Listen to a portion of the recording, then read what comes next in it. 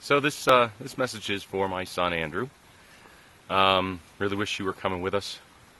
Uh, it's going to be a great adventure, and really wish I could share it with you. Um, hopefully, you're doing well while I'm gone. Um, I love you very much. Um, maybe someday we'll get a chance to spend a little bit of time together, doing some very similar adventure type things. Um, probably not going to go back to Mount Everest again, but uh, there's lots more things to do in this world that uh, I think it'd be great if you and I could share. So um, thanks for the support, and I hope you're doing well.